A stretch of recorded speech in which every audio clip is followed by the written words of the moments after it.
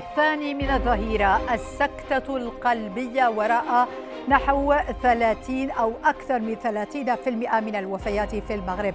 الإسعاف الأولي يمكن أن يقلل من المخاطر. ضيفنا الأخصائي في أمراض القلب الدكتور سعداوي في بلاتو الظهيرة. من ماله الخاص منعش عقاري يشيد مكتبة بمدينة النادور مكتبة القمر. البناية جاهزة.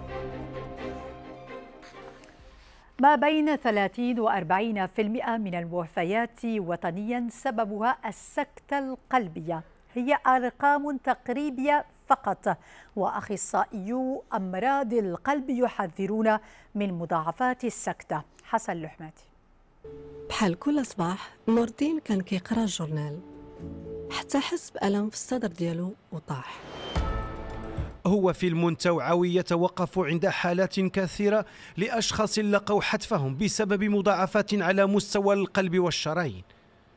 يحدث هذا عندما تمنع الجلطة الدموية تدفق الدم في الشرايين التاجي وهو الوعاء الذي ينقل الدم إلى جزء من عضلة القلب. وهذا الانسداد هذا كيؤدي إلى ما كانش تدخل سريع إلى موت عضلة القلب واللي يقدر يؤدي لمضاعفات كثيره كتبدأ بقصور القلب. إلى الموت الموت الفجائي اللي كنشوفوه دابا. ولذلك هادشي كيحتاج تدخل سريع انطلاقا من مكان وقوع الأزمة القلبية أو الذبحه الصدرية إلى آه، موقع العملية الجراحية.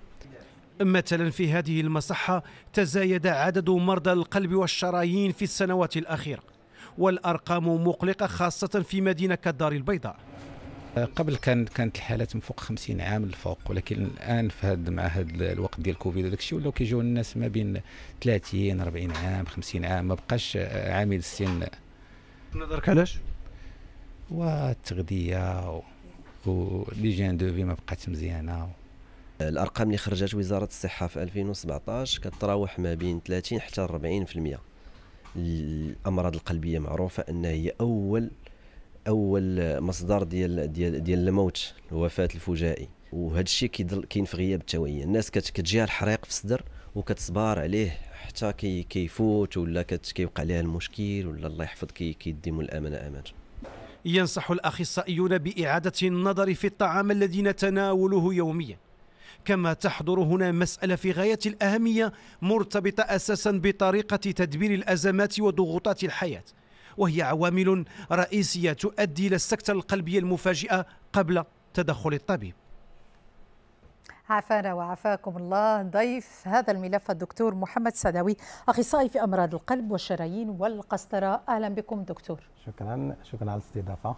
اليوم ما بين 30 حتى 40% من ديال الوفيات في المغرب سببها السكتة القلبية. رقم مقلق جدا علما بأنه رقم تقريبي ممكن يكون حتى أكثر من 40% فعلا آه، في المغرب عندنا تقريبا 38% ديال آه، حالات الوفيات اللي تتكون بأمراض القلب والشرايين.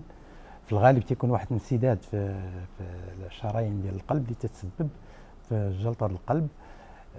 واللي تتمثل تقريبا 100 ألف حالة في السنة عندنا في المغرب. في العالم آه كاين 9 المليون دابا في 2020 وفي سنة 2000 كانت 2 المليون. واللي واللي واللي لاحظنا باللي هاد هاد القفزة كانت خاصة في الدول اللي في طريق النمو. آه على العكس الدول المتقدمة لاحظنا آه الوفيات بأمراض القلب بدأت تنقص. لذا وشنو باش نفسروا هذا هذا التراجع مثلا؟ واش هاد الناس مثلا كتعتمد على نظام غذائي معين أم أنه سرعة التدخل؟ كيفاش نستفيد من التجربة ديالهم؟ فعلا كاين كاين تحسيس بالنسبة لامراض القلب والشرايين على النظام الغذائي ونمط العيش آه كاملا. ولكن كذلك كاين آه كذلك المستشفيات مجهزة وكاين كذلك هو لو غاماساج يعني الناس تناخذهم بسرعة. لأن هذا المشكل القلب الوقت مهم بزاف وهذيك الدقائق الأولى مهمة لذا حنا عندنا واحد المبادرة خاصة درنا واحد الرقم هو 2020 اللي سهل وقصير اللي اللي دابا لا اتصلت أنا برقم 2020 من سيجيبني ولا أي أسئلة سيجيب يجيب وهل هذه المكالمة مجانية؟ المكالمة مجانية آه، يجيبكم تجيبكم واحد المساعدة الطبية اللي تحول اتصال لطبيب مختص في امراض القلب والشرايين واللي تعطي النصائح الكاملة للمريض في هذاك الوقت لأن هذيك الدقائق الدقائق الأولى مهمة. حاسمة. حاسمة وباش تيرشدهم باش يمشيو للمستعجلات القريبة من الاختيار ديالهم طبعا. وحنا تنحاولوا نعطيهم النصائح الكاملة في هذا الوقت لأن هذاك الوقت حنا معنا دابا الدكتور السعداوي في بلاطو ما غنتصلوش برقم 2020 بماذا ينصحنا اللي تنصحه هو الواحد من يحس بشي الم في الصدر ولا صعوبة في التنفس ويتصل برقم ديال كنا المستعجلات ولا يتصل بالطبيب ديالو باش تيخص واحد الاستشارة الطبيه تكون سريعة لأن هذاك كما قلنا هي هي واحد سباق ضد الساعة الوقت مهم بزاف هو الاستشارة. آه، الاستشارة والوقت أحيانا كيكون صعب الوصول إلى الطبيب اللي نستشروا معاه.